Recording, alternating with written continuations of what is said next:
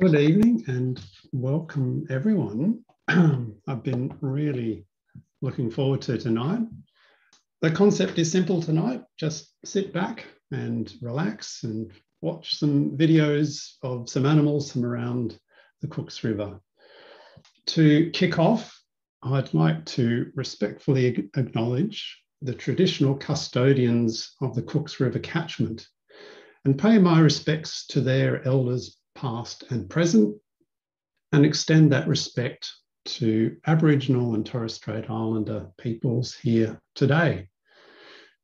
I think it's it's quite amazing that Aboriginal people have lived along the Cooks River for more than a thousand generations, not a thousand years, a thousand generations. It's it's just mind-boggling to imagine that. And the, the river would have changed during that period. And there would have been changes in wildlife as well.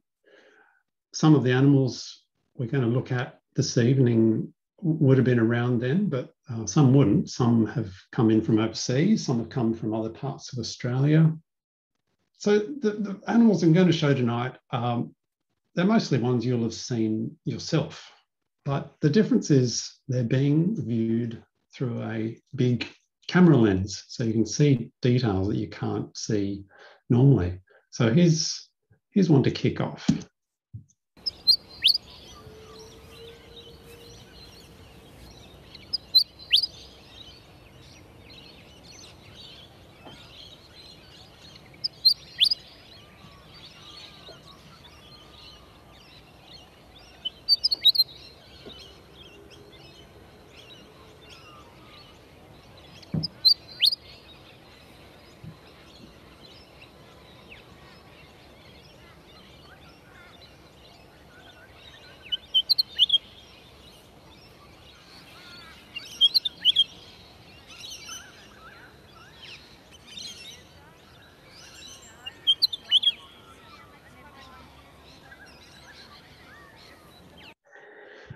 So that was one of the first videos I took uh, nearly three years ago um, with a borrowed camera. I didn't have a proper camera at all. And, and that was, I just sort of realized, wow, you can see stuff you've never seen before. And I, I wanted to go and see what else I could video.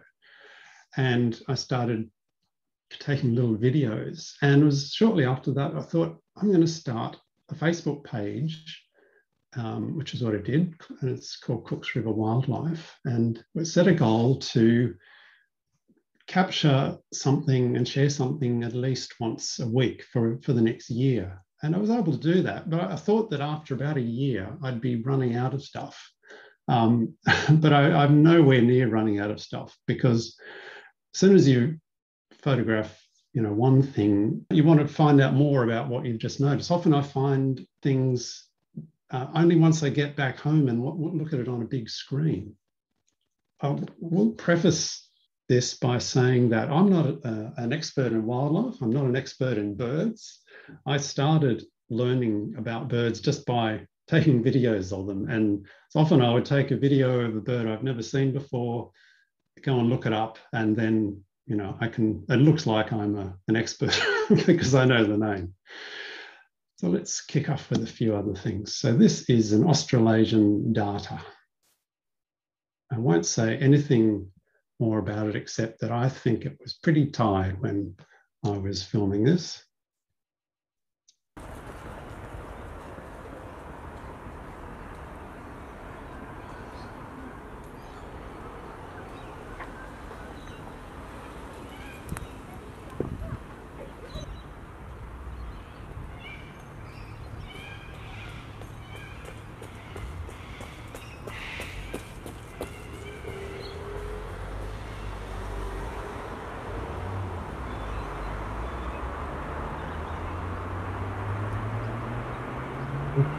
Need to be very careful when you're cleaning themselves. It's very sharp teeth. Very long neck. The neck is all. When they extended it, really long. There we go.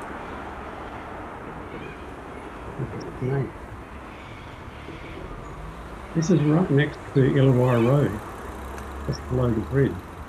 and next to the cycle path. And I've seen this same darter at that very same spot week after week.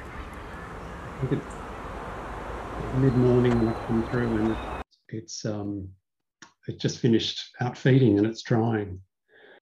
So here, here is this, I'm pretty sure is the same darter, another week on the same little patch. What I want you to listen for is the sound it makes. This really caught me by surprise.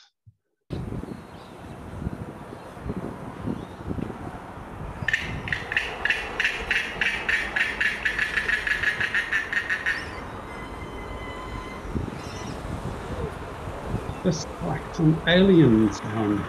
Play it again.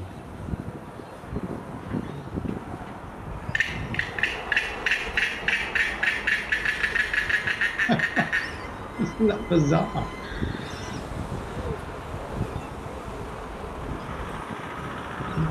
That's the only noise it makes. So what's interesting about a darter is it's a lot of people confuse them with a cormorant. They're different from a cormorant because you see here a darter's got a very sharp beak. So they catch fish by stabbing them. Whereas a cormorant has a hooked beak. Uh, and so it uses a different technique to, to catch them. And I've got a series of photos here uh, from Dave Noble. He's a prolific photographer, takes magnificent photos. Uh, should check out his blog. I'll give you some details on that a bit later. But here, I want to show you this sequence of photos. Here's a great cormorant before it catches a fish. And it catches a fish, I think it's a mullet. And look how big that mullet is. It's just enormous. I, if I, how is it going to get that down its throat? But it does. Look at that. It's just incredible. it just makes me gag looking at it. And there it's, it's nearly down the hatch. And there it goes all the way down. And it, it straight away starts to take off. It's just incredible how, how, um, how, how their throat can expand to get such a big fish down. And then back to the darter, you can see the beak is much sharper. And Dave has captured a similar series of photos with a darter, and here you can see it stabbed the fish. Um, the previous one is a mullet. This is a luderick fish. There it is. It's got a nasty stab, miserable looking fish. And it gets out of the water to eat it. Here it is, pretty fat, you know, even wider than the mullet. Gets it head, head down first, down the hatch. There it goes. Nearly gone. So if you I, I, if you're interested in seeing pictures of uh, local wildlife, stunning pictures like that, um, just search for David Noble blog. He is out and about on his bike nearly every day these days with the with uh, the lockdown, and he takes amazing photos nearly every day. All right, here's another video. This shows the movement, the, the motion of pelicans when they're trying to catch a fish. They put their head back and lunge. Didn't catch anything both those times.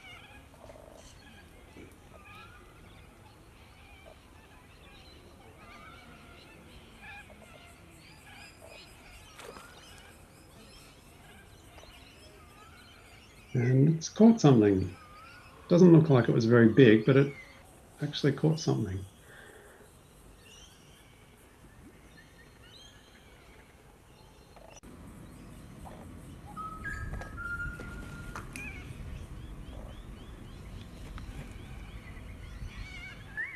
Probably recognize. Oh, yes. they do this bizarre motion that I just showed there where they they stretch their pouch. I I, I tried to look up online what what they're doing, what it's all about, and I couldn't find anything. But what I think is happening is they're stretching it out just before they go off um, fishing, because they they're doing it just before they they launch off, and I think they're just trying to make their pouch nice and flexible, ready to accommodate a big fish. Now this is on about my own balcony of a previous house I lived at. And I had set up three water bowls for local birds to feed in, and it became popular with currawongs. Unfortunately, there's no sound with this because I was um, filming it on my phone behind a glass door and um, the sound didn't come out. But what is amazing is the currawong doesn't just jump into one bowl, it just went up and down to all three bowls. I think it's hilarious.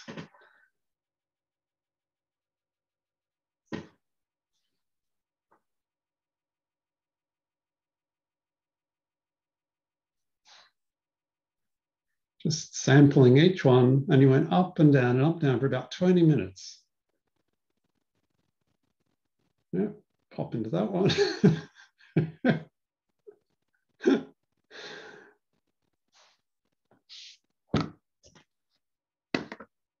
wish I could have heard it at this point. He was obviously singing out.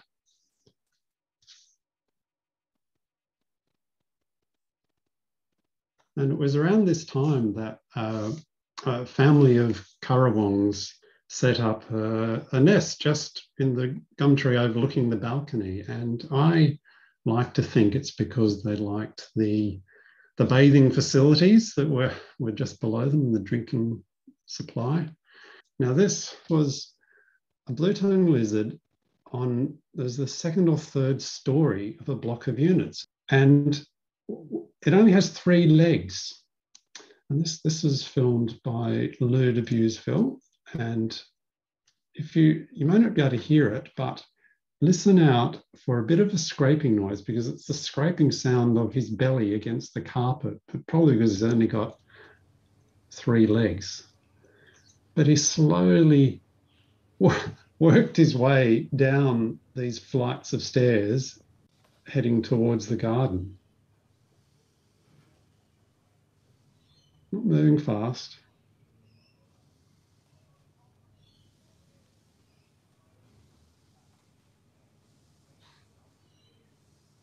Uh, can't really hear the scraping noise.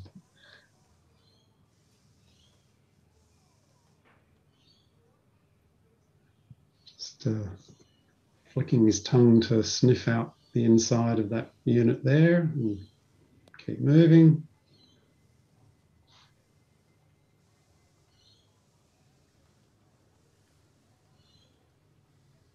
Love seeing how he just curves around the steps.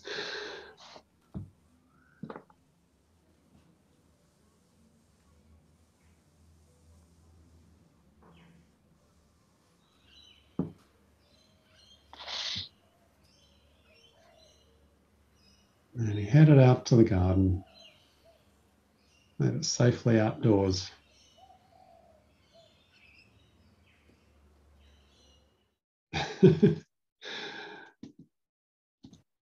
okay.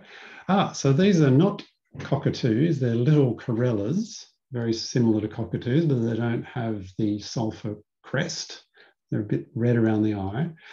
What I found is interesting is they like using their beak to bite things. And in this little video, uh, they're just, they're all competing just to sort of put their beak on this bit of electrical equipment. And, and I was wondering why they're doing that. Um, but they're very competitive about it.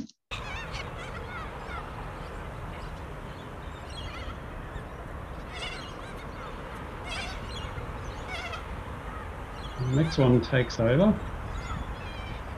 The go himself.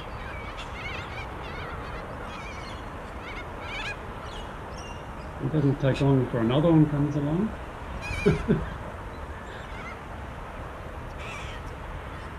And they, they kept doing this.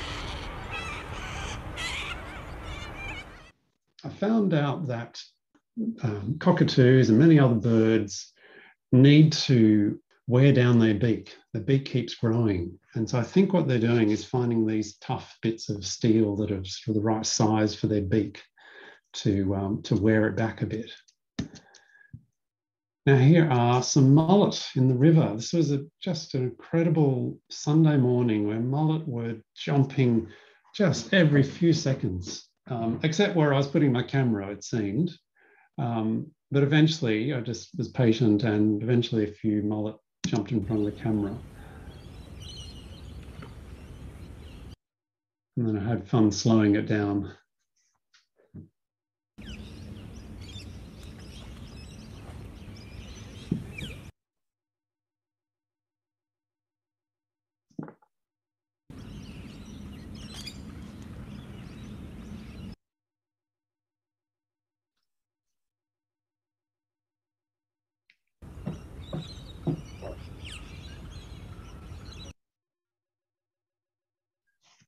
Still not not great vision when it slowed down, but um, it was fun to try. So masked lapwings. I, I love watching them. They're quirky birds, I think. I don't know what this head bobbing is about. it's like it has hiccups.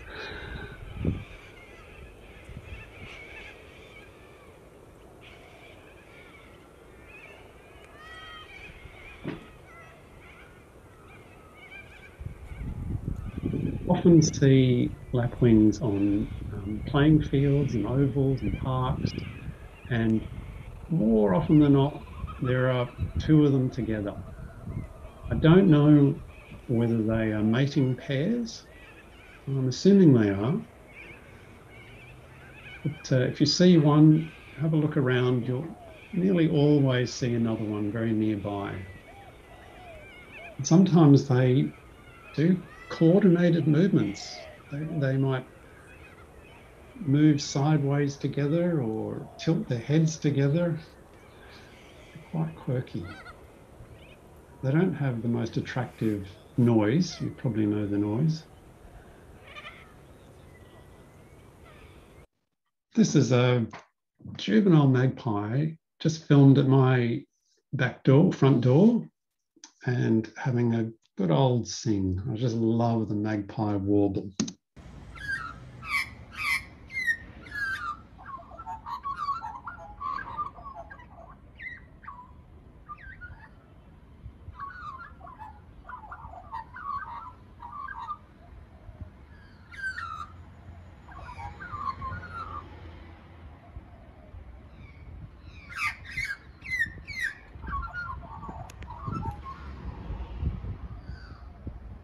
They make such a complex noise when they warble. Um, I, I, just don't know how they manage to do it. Um, they have other noises, of course, but um, it's that warble that I, I just think is gorgeous. Okay, so now we're over to a wetland. This is at the Landing Lights wetland. The, two herons here. I find fascinating is how successful they are in catching food. They, nearly every time they put their head down, they pick up a worm or a grub or something, and you, you can see the little grub in their beak. Incredibly efficient. They must, their eyes must be amazing to be able to see. They're not just stabbing randomly.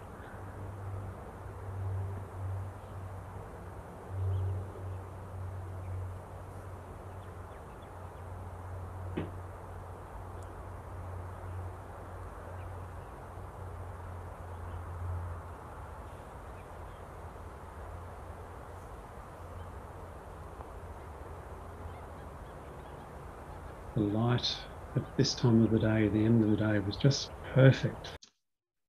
Here is um, a little egret at the same place. There are three types of egrets a little egret, a great egret and a medium egret.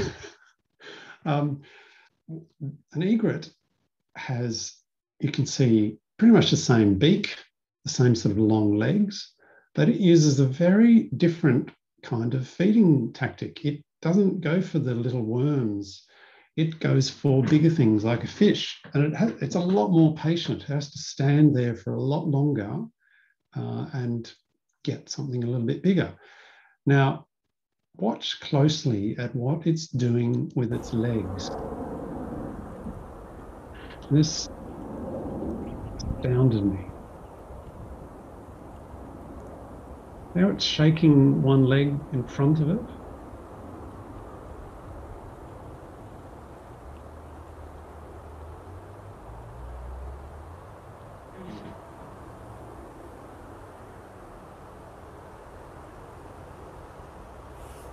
I assume that it, what the egret is doing is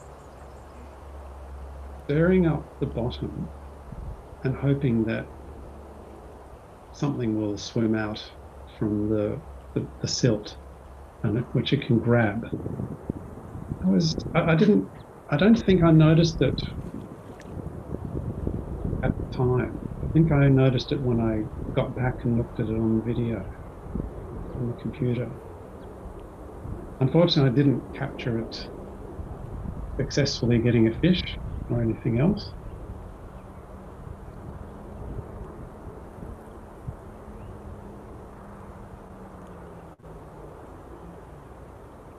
Definitely not as successful in this video anyway as the herons, even though it looks very similar. It's about the same size. They're very patient. They just stand there motionless a lot of the time.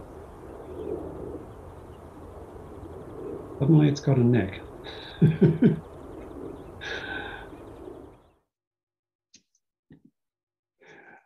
well, here, here are the old uh, bin chickens, white ibises. Uh, we all know these. What was interesting, I thought about this, was they are doing a courtship ritual. This is at Cup and Saucer Creek. And this pair were doing the synchronized, these synchronized movements, bobbing their head up and down.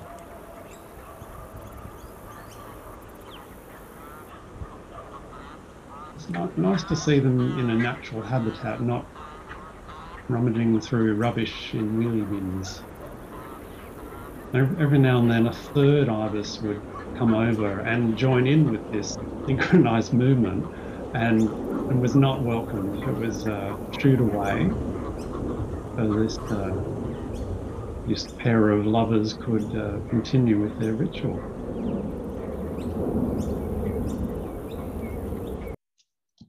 Here, here are some more ibises. What, what um, I wanted to point out here is they're, they're in a natural environment and you can see why they've how they've evolved with their shape their long beak and their long legs and their long toes. It's for this kind of swampy environment. They can wade through very soft ground because they've got big long toes and they can poke down deep into the mud with their long beak. Um, they must be very intelligent, I think, to be able to adapt to a completely different city environment um, and thrive the way they thrive. Nothing unusual about seagulls, except I was able to see what they're doing. This is after rain, and you can see that they are also grabbing lots of worms. And um, again, it was something I, I didn't really see until I looked at the the video afterwards and saw up close that they were catching something. Just about every time they um, stick their beak down. Again, they, they must have incredible eyesight. I've noticed magpies the same. How do they see these worms in the grass? Now it's baby time. More corellas. These are corella. This this uh, flock of corellas who've made uh, their base around uh, Wardell Road at the, the uh, where it crosses the Cooks River.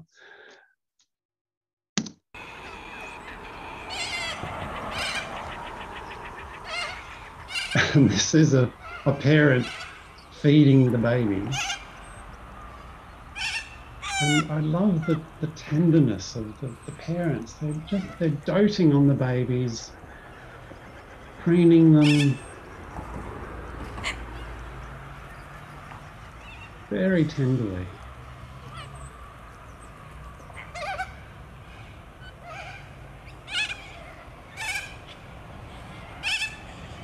Even though the babies are just as big as the parents. Again, there's another parent gently looking after the baby, cleaning under the wing.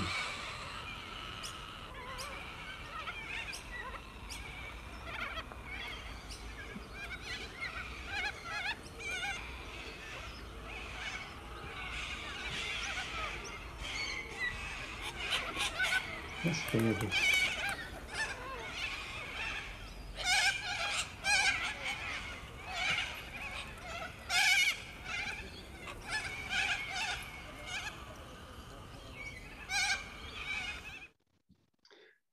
Another baby of the grey butcher bird. And the mother comes in with some food.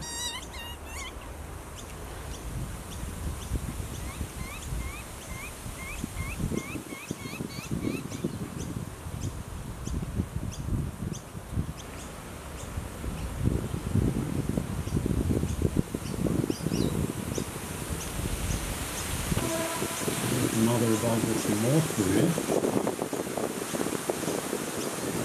And the baby gets excited. But this time the mother eats it itself, doesn't give it to the baby. The baby seems to know, oh, I'm not getting something this time.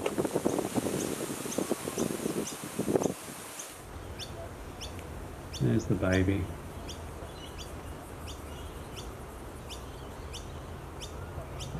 I find butcher birds very hard to spot, but, you hear them all the time. When you, when you know the call, you notice it very frequently.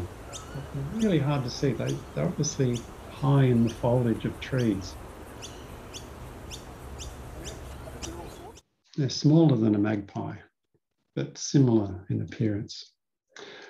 Oh, and the tawny frogmouths. Everyone seems to love tawny frogmouths.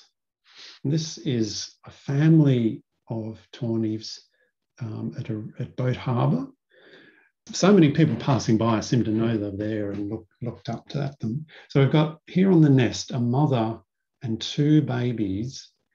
And if you don't know about tawnies, they normally sit like a statue, not moving at all. They, their colouring makes them blend in with the bark and they're really hard to see. But look what's going on when they have babies in the nest.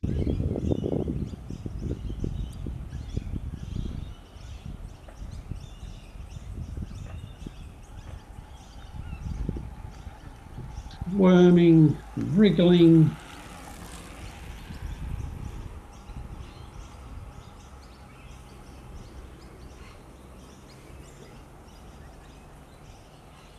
Just, just won't sit still. Um, I wonder what the mother thinks about this. So, well, it could be the father, whatever the whoever the parent is. There's a, the second one on the right there. Just the parent has to constantly readjust as they squirm about.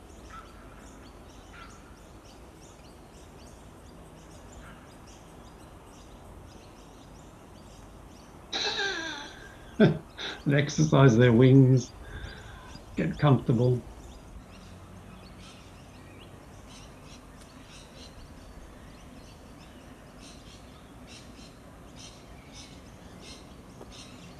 Coming up to the breeding season now. Um, haven't haven't checked what they're up to, so have a look if you're going by.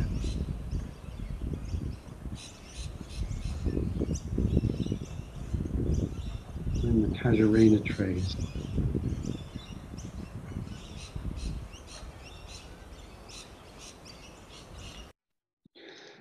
More babies, dusky moorhens. These are so cute. I just love the way that the mother is feeding them. She's picking out little pieces of greenery Um, and she's a bit selective about what she gives them and, and just pops it in their beak. I can't see is there were at least a half a dozen of others that, that are not in the frame. They were bobbing around just outside. They're just little fluff balls mother's just working non-stop feeding these little babies.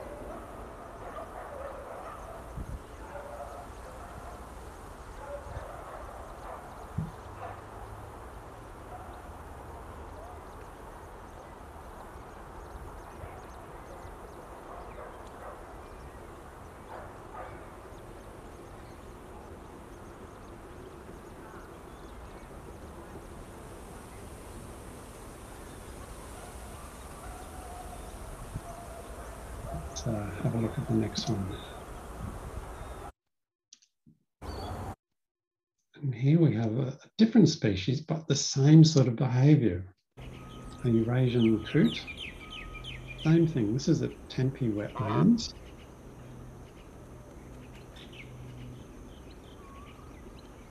Same thing. Pick, finding some choice bits of greenery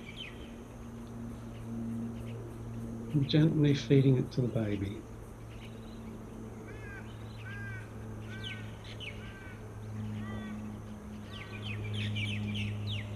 They were doing this for ages. Just all, all the whole time I was there, the mother was feeding the baby. The baby must be very hungry.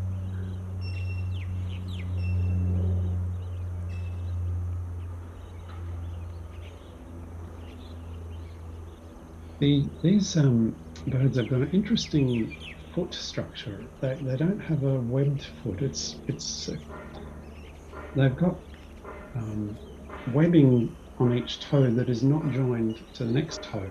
It's, it seems to be like a hybrid webbed foot.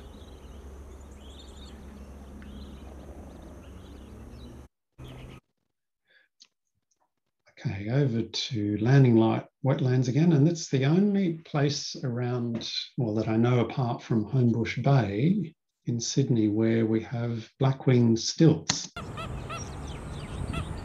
And this is a, a, parent, not a baby. making a lot of noise because I think it's not happy about me being nearby its baby. I'll show you next.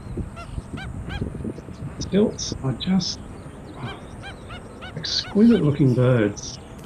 They have long legs like chopsticks and long pointy beak. And this is a baby. Looks very similar, just the beak is not just as long, different colour plumage. And you can hear the parent in the background being protective. I think they're just gorgeous.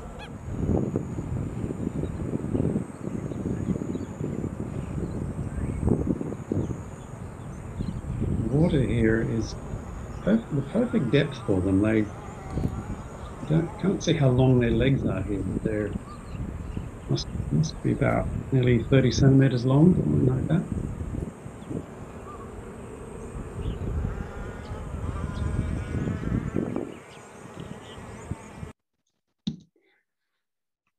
Some more fluff balls, swamp hens. This is in the Cup and Saucer Creek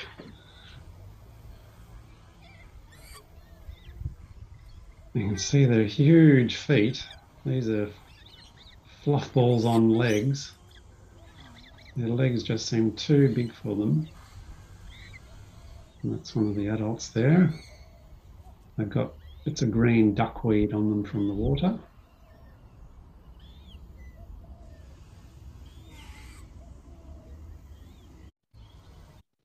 And this is the parent I just thought, like it has hiccups.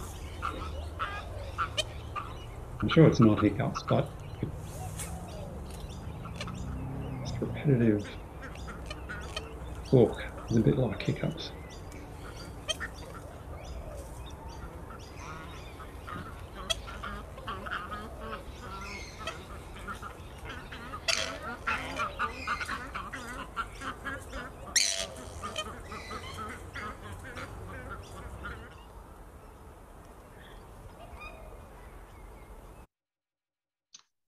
To the river. So this is baby fish that I am guessing are mullet. They're, they're, they're very tiny, less than the size of a finger. And they're all gulping at the surface. And I, I, I don't know why. Um, it's interesting behavior I haven't seen before. I know mullets always um, swim just under the surface, but I don't I've never noticed them actually breaking the surface like this. They, they, I, I'm just guessing that they're feeding on something there that we can't see.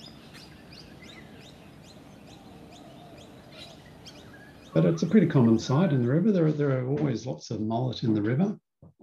The Cooks River is an estuary, and estuaries are breeding areas for all sorts of fish. There's no animals in this. It's just interesting moment where the fog was, or a slight mist on the river has been captured in the sunlight and uh, drifting along the river. I thought it was really special. Let's go for, back for a moment there. If you watch it on the left, there's the birds flying in and breaking the mist apart.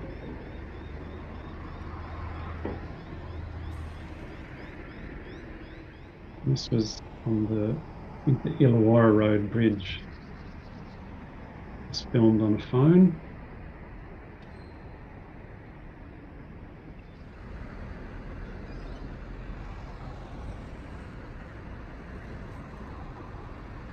Ever trying to film or photograph mist or fog, film it with the sun coming towards you like this. When you're behind it, you just don't get that effect. Back over to Boat Harbour. And it's the litter collection boom, and it's very commonly full of birds sitting on it. It's a, it's a safe spot for them to rest away from predators. Um, safe from people, safe from dogs, safe from cats, maybe even foxes. So places like that are important for these large birds. So if you go back and have a look, they're, they're all big birds. They're not the kind of birds that sit in a tree.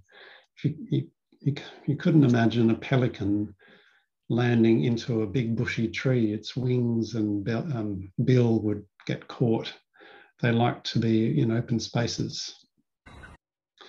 So here's another place where they like to gather. This is Fatima Island over near the Princes Highway at low tide. So there's a bit of um, the island shown.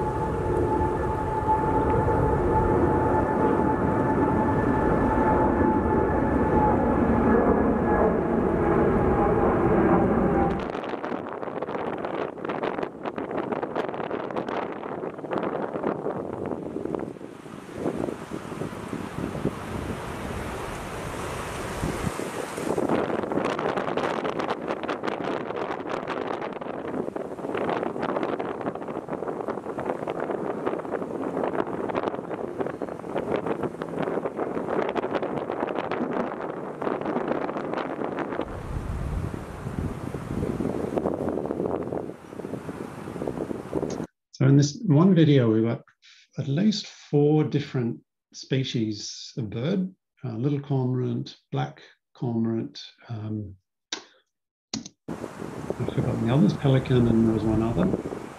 Um, yeah, sorry, great cormorant.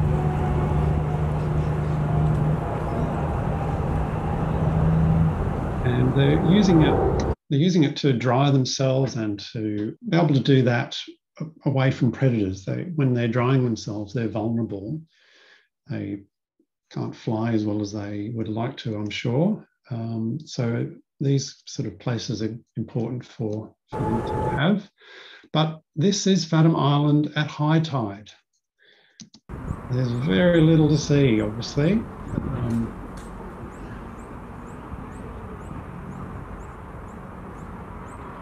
but even with a branch poking up, that's being used. A little black cormorant.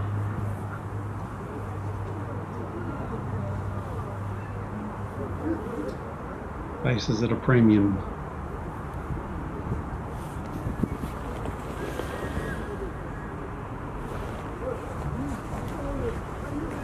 Little, these little black cormorants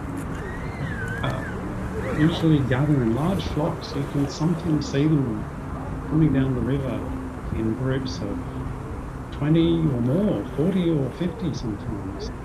And they work, they just, they cover the width of the river. And I, I, I think their strategy is that someone is always scaring a fish somewhere so that it, wherever you are, you're going to get a fish swimming in your direction at some point. The birds and the bees, but not what you're thinking. This is literally bees. So this is Western honeybees or European honeybees. And this is just near Illawarra Road, just next to the cycle path.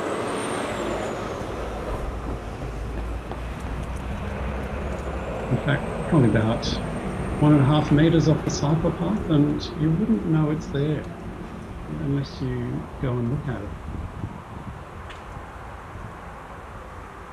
You can see with some of these bees, they're, they've got yellow legs, they've got the, the pollen stuck to their legs. And it's like a busy airport. Constant coming and going of bees as they're busily collecting pollen.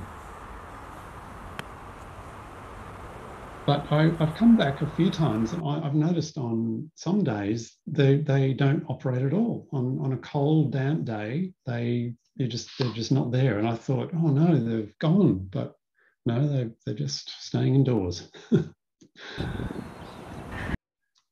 now, crabs. This is just a little video I filmed on my phone and watch in the middle. Look at that It's raising its claws, and that that is a semaphore crab. That's that's a, a definitive behavior of this crab called a semaphore crab. And until I looked into this, I just called them all mud crabs. But there are quite a few different species of, of crabs that can be in this river mud. And these ones um, they do this behavior, but it's not clear what it is they're doing. They, they could be signaling to a mate or they could be warning off uh, another you know, other males. Um, no, it's just a bit of a mystery at the moment. If you go looking for crabs, which I did, I, I was surprised at how few areas of the river actually have crabs. I until I looked properly, I didn't realize that there are only a small number of areas with, with crabs in them. I don't know why. Now, here is a, something very special for, for me anyway um, a sacred kingfisher.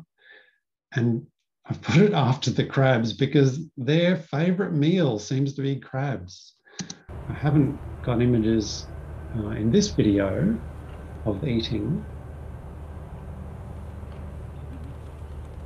They're very skittish. They fly off whenever you come near. Really beautiful colouring. So there, there are, there's at least one pair down um, near the junction with Wolli Creek. Um, there may be another pair, I'm not sure. But, um, there, and if you want to look for them, you need to go at low tide because that is when the mud is exposed and that's when the crabs are exposed and crabs are what, what they uh, go for. I, I'd never seen a kingfisher before. I was really excited to see it. I was surprised how small they are. They, they look, they're a kingfisher like the kookaburra is also a kingfisher. Um, but they must be about half, about half the height of a, of a kookaburra.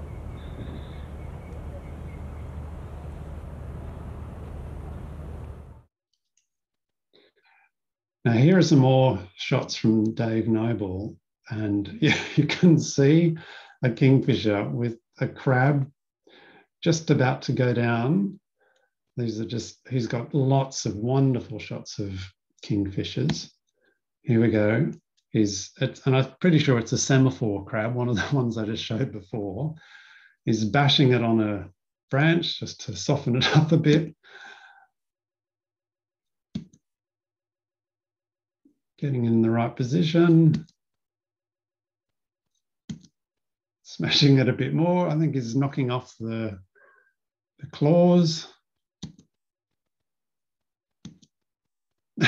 Smashing it a bit more and down the hatch. you wonder how does it deal with all those shells and hard bits on crabs? Well, the answer is they regurgitate them.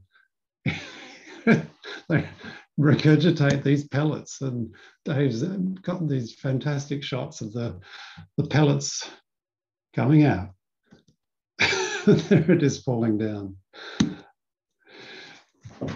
Okay, now we're down at Gough Whitlam Park, and this is another bird that I was just really excited to see a bowerbird. I've never seen a bowerbird until now, and I was just amazed that they could be around the Cooks River. Um, and for, for those who don't know, bowerbirds are the ones that collect blue objects. Here we go, he's got a very special blue bottle top and there, I don't know anything about bowerbirds except other experts have told me that these are um, juvenile males. There's a group of them.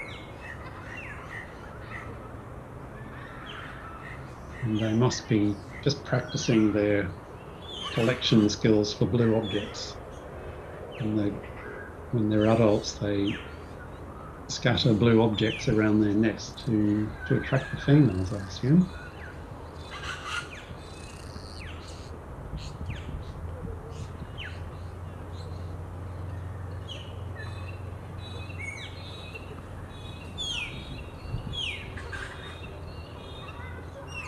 They're not there at the moment. So uh, it's just wonderful that they have come down to Gough Whitlam Park and made it their base for a little while.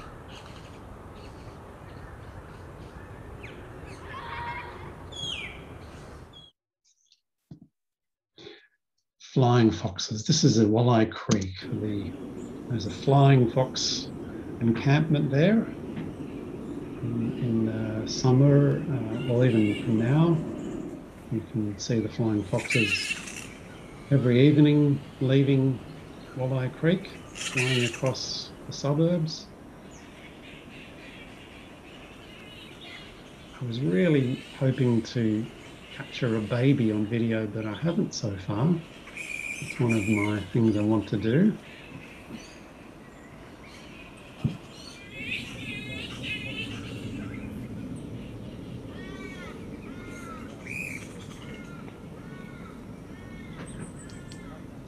Make sure I'm wearing a hat when I'm below these guys because there are things dripping down from them.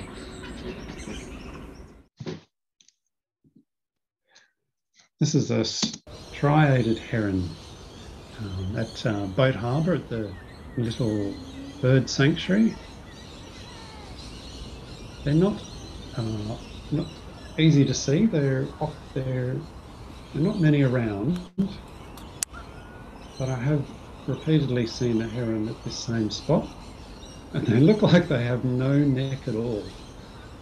But they do have a bit of a neck. I think, yeah, there we go. Oh, just for a moment, he pokes his neck out.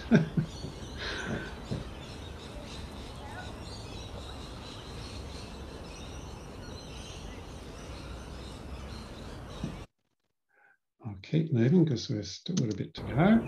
More black-winged stilts. You see their long legs a bit more. Just beautiful birds. I've never seen what it is that they're eating.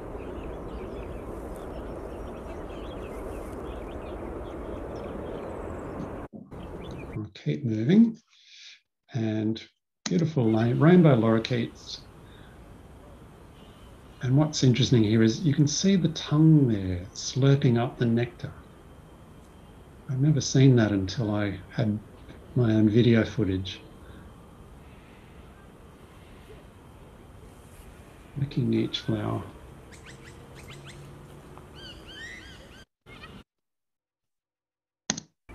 And kookaburra, I really wanted to catch this kookaburra laughing. It was laughing its head off. I came over, I set my camera up, and it stopped. And I packed my camera up, I walked, started walking away, and it started laughing again. And now I've at the, the back of my house, there are a couple of kookaburras nearly every morning. They start laughing, and I've rushed out there. My neighbour Pete has seen me rushing out there, setting up my tripod and camera. And as soon as I get there, they stop. And I've never, still haven't caught them laughing. So that's another challenge for me.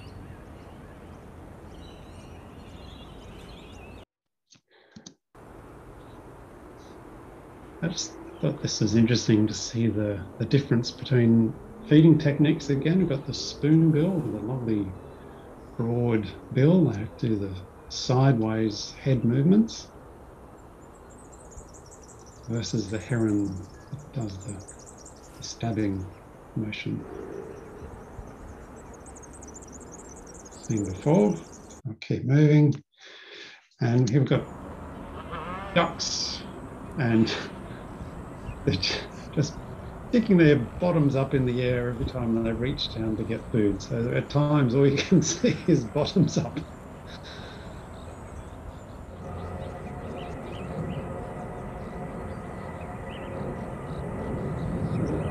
Landing Light wetlands again. Always ducks there.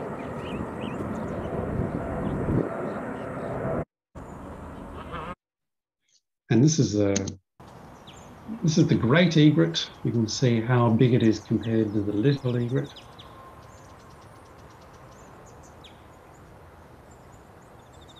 Keep moving. And I think this is the last video. Got some lovely wood ducks.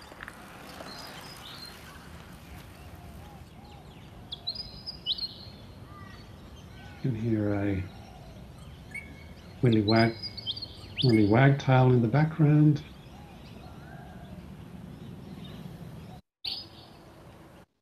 And then coming past the penguin, you can see, you know, the lunging technique now.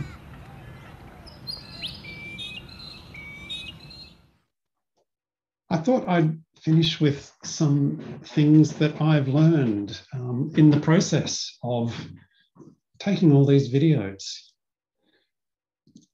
So one is that I realized a lot of people love seeing wildlife and nature, and it really pleases me. It's not just me who enjoys this. There are lots of people who who just get a thrill out of seeing local wildlife. They don't normally see it because they don't have um, the right camera or binoculars, and there's just a there's always just a great response whenever um, whenever they whenever I post something on the Facebook page or share some share just tell someone what I've seen. Uh, next thing I've learned is that I think this is a, an opinion, but I think nature having close access to nature improves the livability of the area for people. It's it's not just for animals, but for people. I think we all you know, we see it in these days with the lockdown. People are just outdoors as much as possible. They're craving to be amongst nature. um, whatever there is. Unfortunately, in the inner west, it has the second, the, the inner west LGA has the second lowest amount of open space per person out of all the LGAs in Sydney. So whatever space we have is precious. So the third thing is that people love hearing about local nature, even if they don't see it themselves. And I, I think that it's for, for a number of reasons. One is that it's it's it's a sign of a healthy river and a healthy environment. And it also says to people that, well, okay, the river is worth looking after. There are all these animals living in it. It's not just uh, a drain like it used to be treated 50 years ago for, for waste. And it gives people hope for the future. I, I, keep hearing people say, wow, the river is really improving. It's, it's showing signs of um, wildlife, just makes people realize, yeah, we can make a change, we can make it improve. Next thing I realized is that green space is not necessarily river habitat. When I go looking for birds and other animals, they are rarely in lawn on lawns like this. They are always in wetlands or bush, mangroves, places like that. They need not just green space. Green space is what humans like, but it's not a habitat for frogs or lizards or insects. And they're all things that birds feed on and other animals, of course. So it's not a place for uh, biodiversity. And when, when I sort of realized that, I realized there's a lot more room for native habitat if we try. So there are so many places like this where it's the edge of a playing field and it's not used for anything. Um, it could easily fit in um, more um, native plants and so on. Um, and it would make it beautiful. It wouldn't just be good for animals, it would be great for people too. So here's an example. This is Timbrell Park in, in Five Dock. And in, in the middle, you can see all that um, vegetation that's, that's um, you know, would normally just be open space. And I've circled there on the right a cricket pitch. It's a bit hard to see. Um, so that's a cricket field. And what's interesting is where the second circle is, that is a, just seems to be a, a bunch of um, vegetation that's been put there. And I can only assume it's, it's just to break up the, um, the field and provide a bit of habitat. So it shows that even a cricket field can have something like that just off the centre and, and not destroy the game. So if we really start thinking about it, there are lots of ways to fit in more um, habitat without, without losing what's important to us. So here, here's an example that uh, the, the, council is doing a lot more of. They're creating these little um, rain gardens and pockets of um, vegetated um, verges in where they can, instead of just where it used to be concrete. And of course, individuals are converting their own, the grassy verge into little bits of um, native vegetation. Uh, it's, you know, it's nice to look at. It's great for birds. Um, it's good for bees with the flowers. And it's less for councils to mow as well. Just to finish off, all, all of this um, watching the wildlife is something that everyone can do. But the first thing I suggest is to get yourself a pair of binoculars. And it's, it's just amazing what a pair of binoculars can do. It just, it's like having bionic vision. You can see so much more. Um, there are many brands. This is just one brand, happens to be an Australian brand. But what you need to look for is the, the rating. So this you either go for an 8 by 32 or an 8 by 42. The 8 is the, is the magnification. You don't want something that's too high magnification because it, any movement in your hands will make it too um, shaky. And the second digit, 32, is it's about how much light gets into the lens. It's the size of the lens. Um, the smaller the number makes them lighter. So if you've got small hands, don't get a big pair because you'll just be too shaky again. Um, I've got 8 by 42 and I'm quite happy with that. So I suggest that um, in, in the spirit of raising awareness of, of the, the river um, for yourself and amongst other people, try identifying what you see and photograph it and share it with others. It just helps sort of change the attitude of the river, of the whole environment, the local river. It's not just a, um, you know, a body of water with playing fields. They're actually, it's a corridor of wildlife and they depend on that, on all those local habitats to live. And lastly, I invite everyone to reimagine your local area and be a champion of native habitat. It could mean planting your own birch garden, but not everyone has that opportunity. There are local bush care groups like the mud crabs. Um, they have found a number of sites along the river uh, that were just unused, like embankments, and have converted them into native habitat and contact your council. If you see a spot that is just unused and is a great spot for um, vegetating, contact them, send them an email saying, you know, I really support this. They, they won't do things if the residents don't demand it.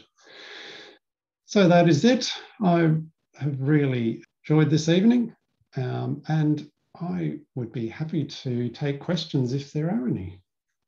Anika said that she'd noticed a lot of corellas and cockatoos recently around the river and also in Alton Hurlstone Park neighbourhood. Why are they, oh, they, how come they seem to be sweeping a lot? Is it people feeding them? And Kay suggested they've been around for a while, lots of nesting hollows near Boat Harbour and Cup and Saucer Creek, also fed by people. Don't know they if are, you know about that. They are definitely fed by people, yes. There's a I've noticed a man feeding them just near the Wardell Road bridge, uh, not just them, but a bunch of birds every morning. I don't know, I can't say anything more about them. I don't know anything about them. But uh, yeah, something for you to investigate. Um, I've got a, a, little question. I've hmm. noticed mm. a, a, huge increase in the number of magpies. Uh, I've got seven or eight magpies on my back lawn every morning singing and uh, hopping up onto the deck and helping themselves to one of my dog biscuits. Um, and previously, myna birds were doing that, but there are magpies everywhere, uh, uh, all over the place. And I just wonder if anyone else has noticed that there seems to be a, a really um, bumper um, crop of, of magpies about at the moment. Interesting. Uh, look, I, I have, can't say I've noticed them more than normal, um, but that's really interesting, Anne uh, there, there are definitely some around me, and I just love hearing them. And, I, have noticed with the shutdown and less traffic that I can hear them more than normal, which is just lovely. Um, yeah, well, good luck to them if mm. there's a bumper crop at the moment. yes. Most of the rest of the discussion was about where uh, where where Landing Lights is exactly. I don't know if you can see my cursor. Can you see yes. my cursor? Yep. So Landing Light wetlands is just here. It's very near the entrance to Cooks River, the beginning of Cooks River. Um, so I'll show you a few more of the place. So that's Landing Lights. Tempe Wetlands is here. That's the junction of Wolli Creek there. And that's a beautiful walking track down there, very bushy. And maybe um, point out in Gough Whitlam where the bowerbird and the... Yeah, so the bow, bird was in here, and the kingfishers are around here. Cup and Saucer Creek is here. Yeah, they're, they're, the, they're the wetlands. Cup and Saucer Creek, uh, Gough Whitlam Park, Tempe Wetlands, and Landing Lights Wetlands. And oh, the tawny frogmouth. No Yeah, land. they, they are up here at Boat Harbour. Right there. So this is an interesting map because it shows the catchment of the Cooks River, and you can see it's huge. It goes down to Hurstville, Penshurst, out to Yagoona, um, Moore Park. Um, and it means that any, this is a bit of a sidetrack, but any rubbish on streets in this whole area eventually funnels back into the Cooks River and that flows out into Botany Bay. Fantastic. Thank you very much for coming tonight. It's been a, a real pleasure. Thanks, Martin. It was wonderful. There were lots and lots of comments uh, all through the chat, uh, all through your presentation, saying how much everyone enjoyed it and how wonderful it was to have this river near us. It was Thank you. fabulous. Thanks, Martin. Thank you very much. Wonderful.